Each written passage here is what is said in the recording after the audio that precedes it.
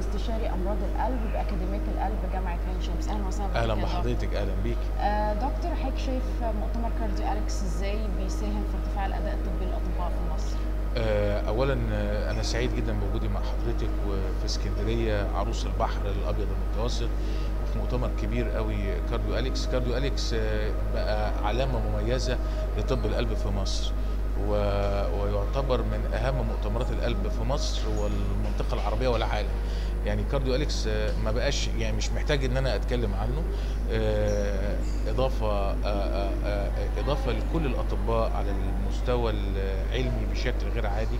أساتذة من مختلف الجامعات المصرية وفي المنطقة العربية والعالم. محاضرات على أعلى مستوى نقل حي الحالات من أصعب الحالات من غرف حجرات القسطره في مصر وبره مصر آه، Cardio Alex آه، آه، يعني دائما بنفضي وقتنا علشان دايما لازم لازم ان إحنا نحضر هذا هذا الحدث العلمي وحقيقه أستاذنا العزيز الدكتور محمد صبحي واللجنة المنظمة كل سنة دايما في جديد في شكل مختلف المؤتمر ثري دايما بمواضيع آه، مهمة وجديدة.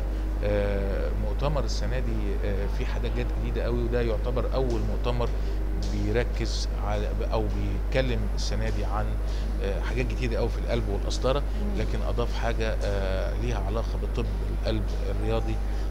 وده أول مؤتمر في مصر يتكلم عن عن أمراض القلب لدى الرياضيين عايزين بقى نتكلم أكتر عن الموضوع ده بما إنه هو جديد اللي هو طب القلب الرياضي. طب القلب الرياضي هو موضوع ما هوش جديد خالص هو في العالم لكن جديد على مصر والمنطقة العربية.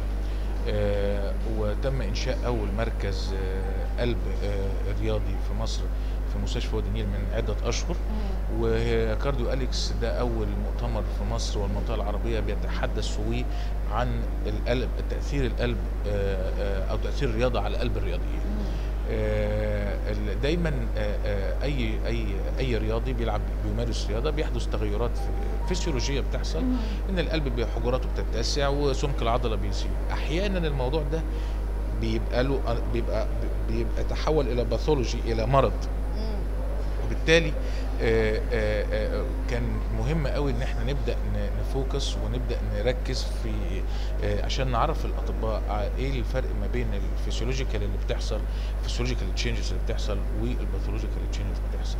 النقطة الثانية إن إن فحص الرياضيين آه، مش بيبدأ من مجرد إن أنت تعملوا رسم قلب أو موجات صوتية لأ ده إحنا بنبدأ بالكلام اللي بيقوله من شكوته وتحليل الشكوى اللي بيشتكيها اللاعب آه، مثال بسيط قوي الدوخه.